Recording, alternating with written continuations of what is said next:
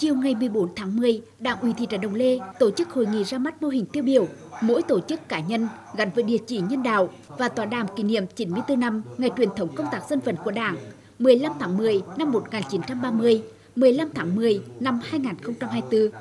Tham dự có đồng chí Bùi Thanh Chuyên, Phó Bí thư Thường trực huyện ủy, Chủ tịch Hội đồng nhân dân huyện, đồng chí Hồ Thị Bích Hà, Ủy viên Thường vụ, trưởng ban tổ chức huyện ủy, lãnh đạo ban tuyên giáo, ban dân vận huyện ủy. Trong những năm qua, thị trấn Đồng Lê luôn nhận được sự quan tâm, tạo điều kiện của các cấp, các ngành huyện Tuyên Hóa. Tinh thần đoàn kết, nỗ lực quyết tâm cao của cấp ủy, chính quyền và nhân dân trên địa bàn,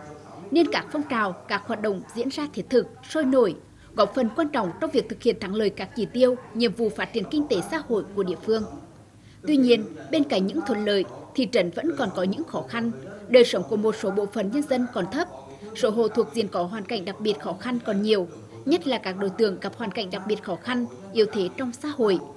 Trước tình hình đó, Đảng ủy thị trấn Đồng Lê đã ban hành kế hoạch và giao khối dân vận thị trấn triển khai thực hiện mô hình mỗi tổ chức cá nhân gắn với địa chỉ nhân đạo. Đến nay đã có 22 chi bộ tổ chức đăng ký hỗ trợ 22 địa chỉ nhân đạo, gồm 9 hộ nghèo, 13 hộ thuộc diện cận nghèo và diện hoàn cảnh đặc biệt khó khăn.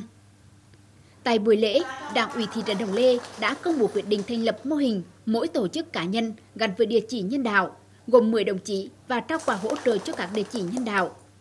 Dịp này, Đảng ủy thị trấn Đồng Lê cũng đã tổ chức tọa đàm kỷ niệm 94 năm ngày truyền thống công tác dân vận của Đảng 15 tháng 10 năm 1930, 15 tháng 10 năm 2024.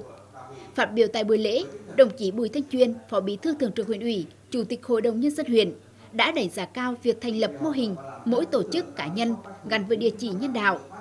Đồng chí hy vọng việc thành lập mô hình sẽ góp phần giúp cho các hộ nghèo, hộ cần nghèo, các đối tượng khó khăn yếu thế với bớt phần nào khó khăn trong cuộc sống.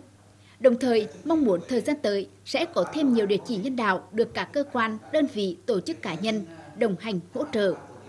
Nhân kỷ niệm 94 năm ngày truyền thống công tác dân vận của Đảng, đồng chí Phó Bí thư Thường trực huyện ủy nhấn mạnh,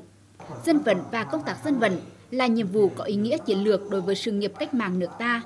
Khối dân vận thị trấn Đồng Lê tiếp tục đổi mới công tác dân vận theo hướng sát cơ sở, thực sự trọng dân, gần dân, hiểu dân, học dân, có trách nhiệm với dân.